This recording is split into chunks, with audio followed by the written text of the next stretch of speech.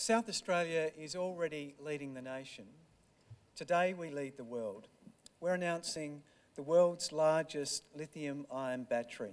That battery uh, will be built uh, in Jamestown, just a few hours uh, from the centre of Adelaide.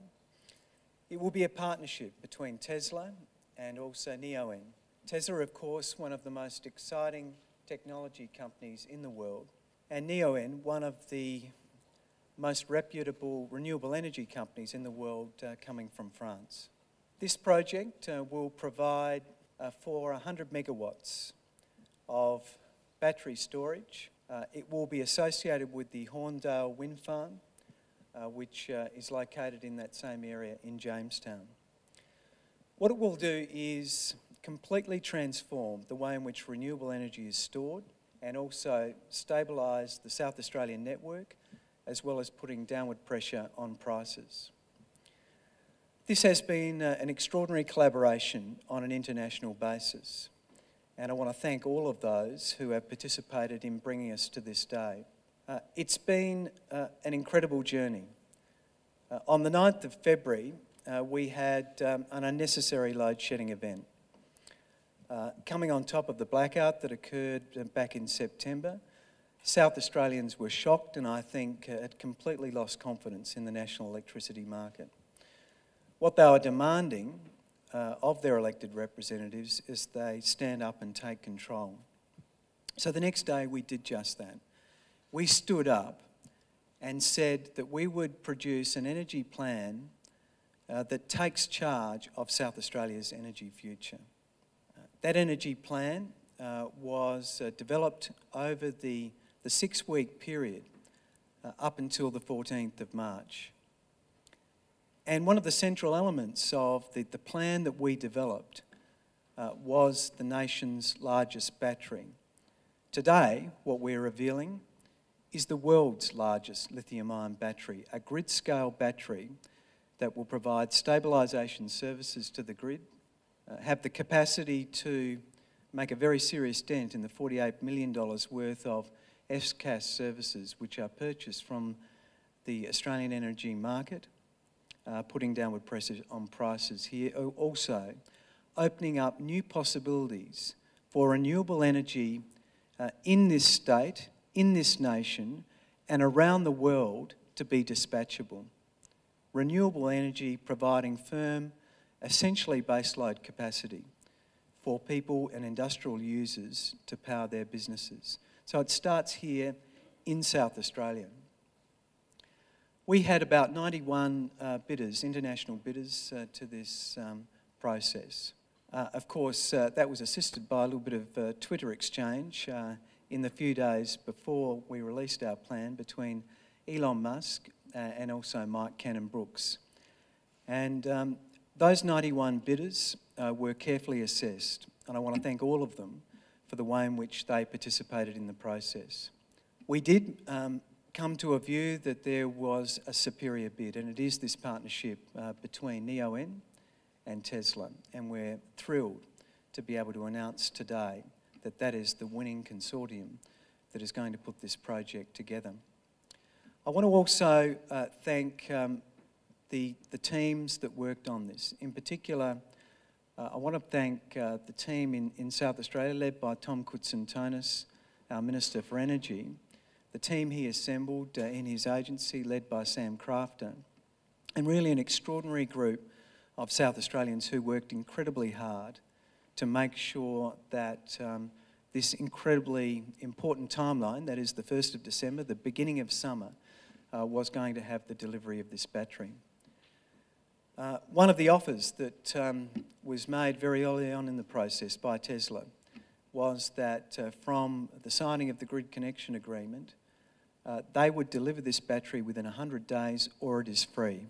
It's an extraordinary offer and it's one which is now being committed to and is part of the contractual arrangements. And uh, that's a fantastic degree of security that South Australians have, that we will have this in place by the beginning of summer. I want to also thank um, the, the people who have negotiated with us, uh, both Neoen and Tesla. It has been an incredibly tight timeline to complete what are incredibly complex negotiations. And so, ladies and gentlemen, it's my great pleasure now uh, to introduce you to the uh, International Head of Energy for Tesla, uh, Carl Langton, and also the Chief Executive Officer of Tesla, Elon Musk. Thank you.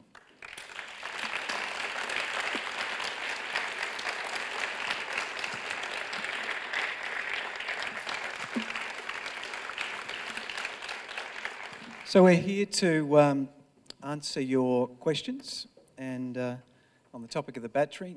And uh, if anyone has a question, far away. What, no Mr. questions? Smithson. I can't believe it. Uh, Mr Musk, uh, Mike Smith of Channel 7. Is, do you see any risk in this at all? Your reputation, global reputation, is at risk here.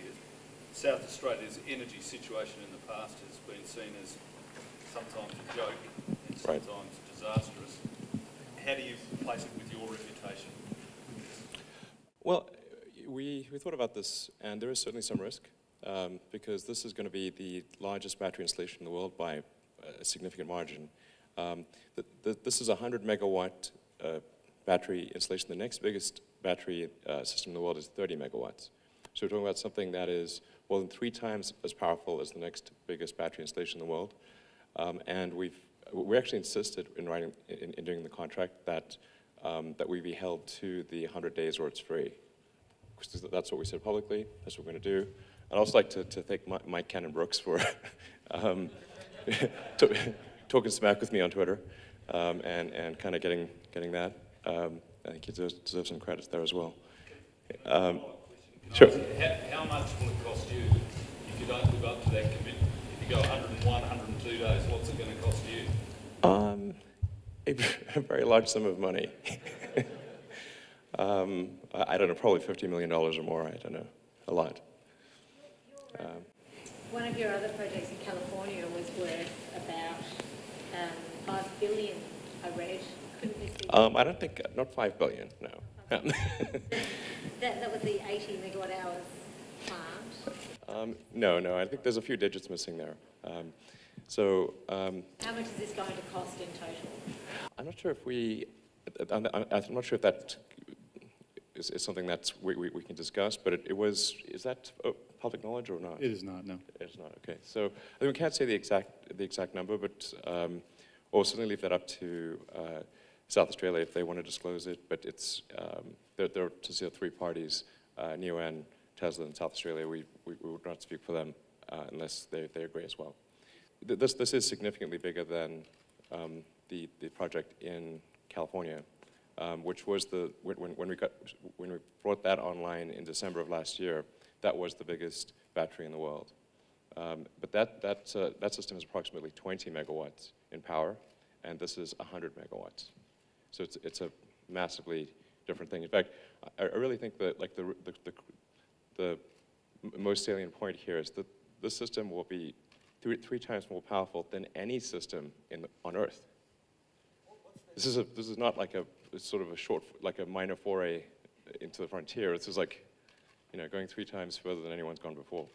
And maybe, if, if I may add something. Yeah. So, so beyond focusing on the costs, the, the interesting about this plant is actually going to lower costs for consumers in That- South that's a very Australia. important point. So, uh, as opposed to, to being something that costs taxpayer money or, or is, is uh, the largesse of the public, is actually going to provide price stability, market stability, and lower prices overall for customers, especially at the summer peak months. Just Why is that? What's the, what's the technical challenges here? I mean, it's just the normal technical challenges that come with, with scale. Um, so when you make something three times bigger, does it still work as well? Um, we think it will, but there's certainly some risk in that. Um, and uh, we're, we're- we're confident in our modeling techniques and in the design of the system. Uh, but whenever you make something three times bigger than anything that's come before, there's always some risk. Mr. Musk, can I just uh, ask up the back here? Okay, sorry, it's hard Uh, to tell. Sorry, just over Oh, here. um, what will the battery be used for? Will it be used for arbitrage or simply stability services? And when you say 100 days or it's free, who is it free for, Neoen or the South Australian taxpayers, or both? Well, I think it's the, primarily the free would be for South Australian taxpayers. Yeah, and, and, and it's, it, had, it has the grid, stabilization is, is a huge factor. Um, as uh, Cal was saying, Um, because it's able to stabilize the grid and buffer power, um, it, it, you, can essentially ch charge up the battery pack, battery packs when you have excess power and where the cost of power production is very low, and then discharge it when the cost of power production is high. And this effectively lowers the average uh, cost per kilowatt hour to the, to the end customer. Um, it's a fundamental efficiency improvement of, for the grid. It's, and it's really quite necessary uh, and, and, and, and, quite, quite obvious when sort of considering uh, a renewable energy future. When you have wind or solar, it's obviously not windy all the time, and it's, it's clearly not sunny uh, 24 hours a day. So you have to buffer the power um, and, um, and store the power during the middle of the day in order to discharge it at dawn, at dusk, and night. It's really not complicated in that sense. It's really, really quite straightforward. And then for, for wind energy to store it when it's windy and discharge it when it's less windy. This, this is extremely important fundamental. In, in, a way, you can think of Earth like, like Earth is like a giant satellite. And the way that satellites are, are powered, including the, the, the, big geostationary satellites, um, which we're quite familiar, we just launched one actually um, at SpaceX. Um, th those will last for 20 years with no maintenance in orbit. Um, literally, no, no, one, no, no one can go to them, so they're designed to zero maintenance. And they're entirely powered by solar and battery. But there's no, there's no fundamental scaling limit. Um, so just as you can power a big satellite purely with solar and a battery, uh, you can power Earth purely with solar and a battery. Earth is a giant satellite. This was all triggered by Twitter. When did this become more than a thought bubble or a, a game for you? When did you become really involved in the process? Um, well, it's certainly never a game, uh, but I, I, I, was made aware of it um, by the, the, Tesla team that, um, that, that there was really this opportunity to make um, a significant statement about renewable energy to the world to show that you can really do uh, a heavy-duty, large-scale, utility-level battery battery system, and that uh, South Australia was uh, up for the challenge. Then the team asked me, like, oh, are we willing to take a big risk on this? And I said, absolutely. Um, if, if South Australia is willing to take a big risk, then so are we. Some people in Australia want to build new coal-fired power stations. Sure. How does that compare economically with building new renewable energy power stations instead? Yeah, the, the fundamental challenge with coal power stations is that um, it's, it's, they're quite difficult to get financed. Because the, the, the, writings on the wall um, for the long-term future of coal, um, which is that it doesn't, coal, coal, does not have a long-term future. And so when, um, when one looks at the establishment of a new coal power plant or doing a, a, major upgrade of a, an existing coal, coal power plant, when going to investors to get financing for that, investors know that coal does not have long-term future, so the cost, the capital cost is incredibly high because they, they want to charge a very high interest rate because they're not expecting it to last 30 years, which is normally the, the length of time that they would want to amortize the value of a power plant. So effectively, coal becomes very expensive because people aren't willing to invest in something that doesn't have a great future. Mr. Musk, Stacey Lee from Sky News, Sorry. up the back here. Okay. that, well, here's where the, where the speakers are coming from. Um, this will be built in Jamestown. What does that mean for the community there? How many jobs do you expect this to create up there? Well, I think it, it's, it's a massive installation, so there'll obviously be a huge uh, initial input of, of jobs. And I think long term, uh, because it will be three times more powerful than the next biggest battery installation in the world, and we're going to you know, make, make an effort to have it also look good uh, that it actually will be a, a, tourist destination for at least some period of time, because you, you just want to see this giant uh, battery farm. But I mean, I think they're, they're really quite nicely arranged, kind of white obelisks. I mean, if it's sort of, you know, if this got unearthed in the future, it would look like, what, what was this, some sort of art exhibit or something? I don't know. what were they after? I. So I think um, it'll have some value as a, sort of a tourist spot for a while. I know, if you'd like to elaborate on that. Yeah, absolutely. Yeah, absolutely, for, especially for the construction phase. And the, I mean, I, will be honest, the operations and maintenance of the battery system are designed to be um, pr pretty self-sustaining, so it's not a significant amount of people who have to be there to upkeep the system for all the construction phase, which will last into December, um, notionally. Um, we'll have it be tens or hundreds of jobs that are being created in Jamestown. There's a, there's a local contractor, CPP, that's uh, won the contract to be part of uh, doing it here. So it's a South Australian company, CPP and they'll be doing that on work, on ground work. What's, what's the uh, useful life of the batteries and will you, will you cycle them through continuously? Um, yeah, so the, the, the useful life of the battery, depending on how long, what energy level is um, considered to be the end of life of the battery, is, is sort of on the order of 15 years. But it, it does depend on how heavily the battery is used, what percentage of, of the, how deeply it's discharged, how, how aggressive power is, is added to the pack or removed from the pack. But the electronics can last you know, to 20 to 30 years. Um, and the, the, the, the, cooling system, the thermal control loop, uh, can also last on that order. So over time, what you can do is you can add more um, power packs to supplement the decline in the energy capability of, of, the, of the older ones, and they will seamlessly blend into the system. So it's not as though everything is, is junked. Um, at, yeah. And are they recyclable? They are, they are certainly recyclable, and in fact, it, it makes sense to recycle lithium-ion uh, battery packs because the material constituents um, are, are, still quite valuable. Um, the primary cost driver, in fact, in the cells is tends to be nickel. So we can think of it as very uh, nickel-rich ore, um, is one way to think about it.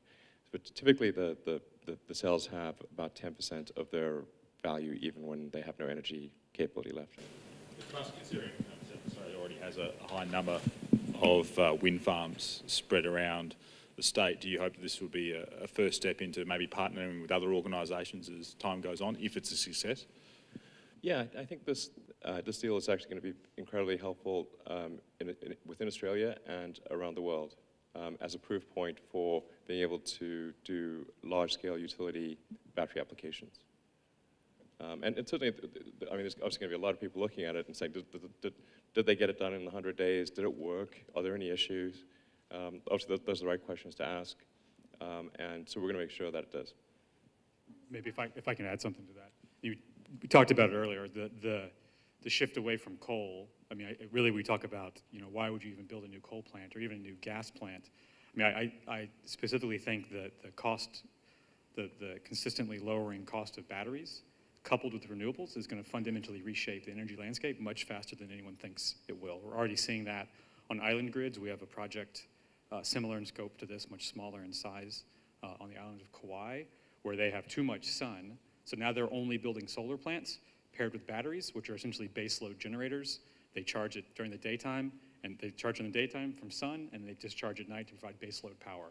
And so, I, I mean, I think in the very near future, all new renewable energy plants will have batteries coupled with them, just as par for the course, and it's going to totally reshape the fundament of the energy system.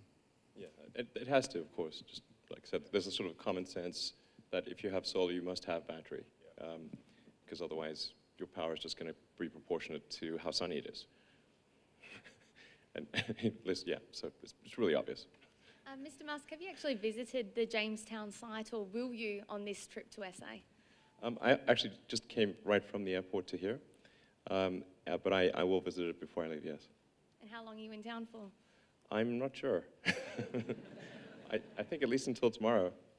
I'm not sure what day. It's Friday, right?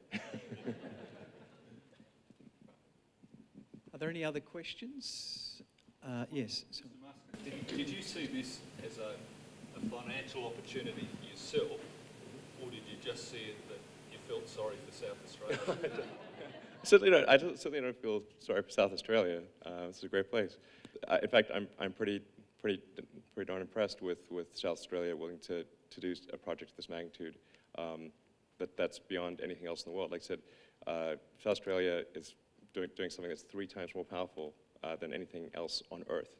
So, you know, that, that, takes a, that takes a lot of gumption. I do see this as something that the, the world will look at as an example um, and of, of, being able to do large-scale um, battery applications for, for, the grid that really take a large amount of load.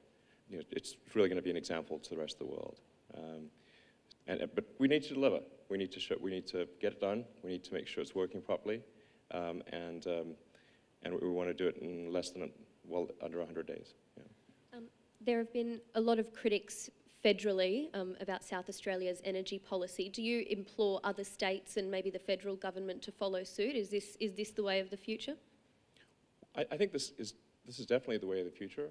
And I, I think it's worth uh, other states taking a close look at this and seeing if it's applicable to their, their needs. uh, which I suspect in most cases it, it is. Okay, ladies and gentlemen, uh, could you uh, thank uh, Elon and Cal and uh, for being here? Thank you very much.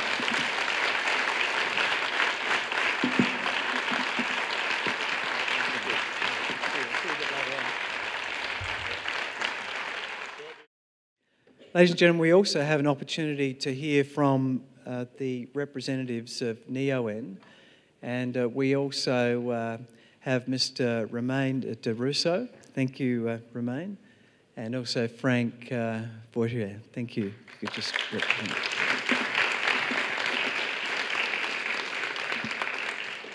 so we're also, um, of course, uh, this Neoen is um, a world leading renewable energy company based in France, but now has a very large proportion of its uh, international operations based here in Australia. It, of course, has the Hornsdale Wind Farm, which is over a 300 uh, megawatt uh, wind farm with uh, a very large number of uh, wind turbines, 99, is it? Correct. Um, and so this is an opportunity for them not just to provide the services to South Australia, but also in the balance of the battery uh, to also um, on-sell that particular service and participate in the market. So this represents uh, another dimension, if you like, of what we've announced today, which is uh, the future capacity for us to firm up an industrial user and introduce competition into the South Australian part of the market. And this is a critical issue uh, for South Australia to be able to put downward pressure on prices is to actually increase the number of contracts that exist within uh, the South Australian electricity market. So uh, these two gentlemen are also here, willing to answer your questions. Thank you. What, at what stage did you first touch base with, with Tesla and how that, that sort of partnership started? From the beginning, we've been looking at possible uh, battery suppliers, and I have to say that Tesla was quickly identified as an outstanding partner with an ability not only to deliver such a large-scale product, but also we strongly believe to help us operate it and integrate it to the grid. The challenge is not only to build it, but it's going to be to have it working with the RMO and, and, and, and the grid to deliver and, and, we also understood quickly that there were strong commitments at the highest level of Tesla's organization. So. Um, will you expand the wind farm as well? Are there plans to do other things as well? The wind farm is already the largest renewable generator in South Australia, and uh, it might not be in the plan to expand in this location, but there's a lot of other good locations in South Australia where the wind and solar regime are outstanding to do more wind farm with storage. This is really a pilot of how we should integrate renewable with storage to make long-term sustainable, dispatchable and competitive energy for South Australia, but also for most of the places in the world. What's the cost to Neoen? Are you putting half the bill with Tesla? We are.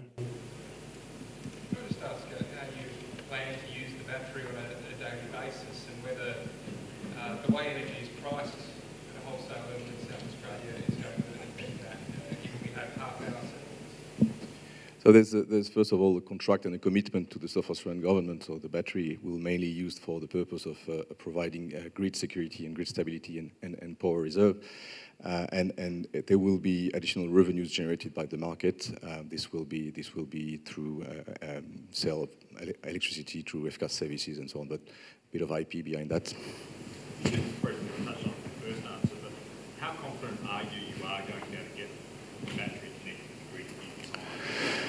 So the Hornsdale Wind Farm um, stage two uh, has been built, has been commissioned um, in June this year, 8 June. Uh, the third stage is really well underway, so we have been developing and building the wind farm with Siemens and CPP, South Australian uh, subcontractor for the, the, the electric uh, balance of plant. So in terms of experience and understanding of what is going on on site, uh, we know the site perfectly well. The subcontractors understand the uh, connection And we believe um, the FCAS trial, uh, which we're uh, jointly with AEMO and ARENA uh, um, performing on Hornsdale 2, will also help us getting through the registration steps, which are important steps in that, in that context.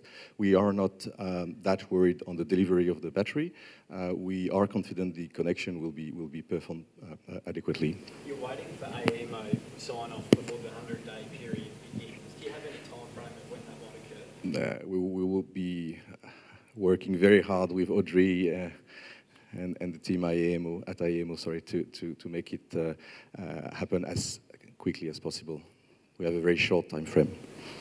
Can you, can you guarantee that power prices for consumers, for households and for businesses, will actually go down? I think guaranteeing would be an overstatement, but uh, necessarily uh, the fact that um, uh, FCAS services being provided through competitive sources of uh, renewable electricity would have an impact. Uh, yes, guaranteeing, I'm not sure I would. But. The wind farm is selling electricity uh, between half and two-thirds of the price of the average price of the market. So with the storage, we're going to be able to bring this cheap electricity, half of the average price, at the moment when the people need it and not only when the wind blows. And that's really what we want to do.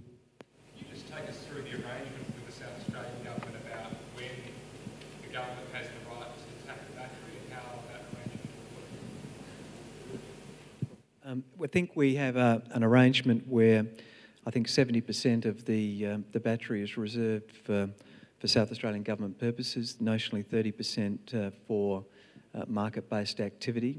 And there's a series of um, quite uh, complex agreements about way in which we uh, gain access to that. So there's a clear understanding between us about the use of the, the battery for our purposes. And it's also important to note that this is a process which is deemed to evolve. We, we plan with the government and the regulator regular meetings to make sure that the battery is used as well as possible and that we take good lessons and good understanding from this uh, unique example in South Australia and that we'll be able to replicate it in Australia and in other parts of the world. It is a word premier and it means we'll have to work on it to make it as efficient as possible. Have you got uh, further investments in South Australia in the energy sector planned in the future as well? So Neoen is, um, is a global IPP, uh, independent power producer, uh, building uh, renewable energy uh, uh, uh, generators. we have been investing in Australia since 2012 more than 1 billion Australian dollars, and we're planning to invest approximately the same amount of money in the next 12 to 18 months. South Australia has been has benefited from the core of our investment through the Hornsdale Wind Farm and now through the Hornsdale Power Reserve.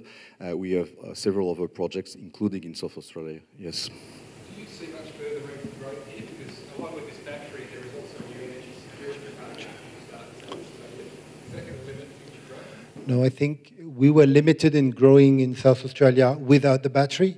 Now we're really going to start to be able to do real wind in South Australia. It's the beginning. The, the, government's initiatives, uh, the energy security plan, uh, is really a game changer in the world, and South Australia is uh, going to be seen as of uh, now uh, as a leader in uh, being able to solve the equation of intermittent electricity and grid stability. So Neoen is, is, very proud to be part of the exper exper um, experimentation, so that word premier, and, and under your leadership, Premier, the, the world is going to have the eyes focused on the next four months.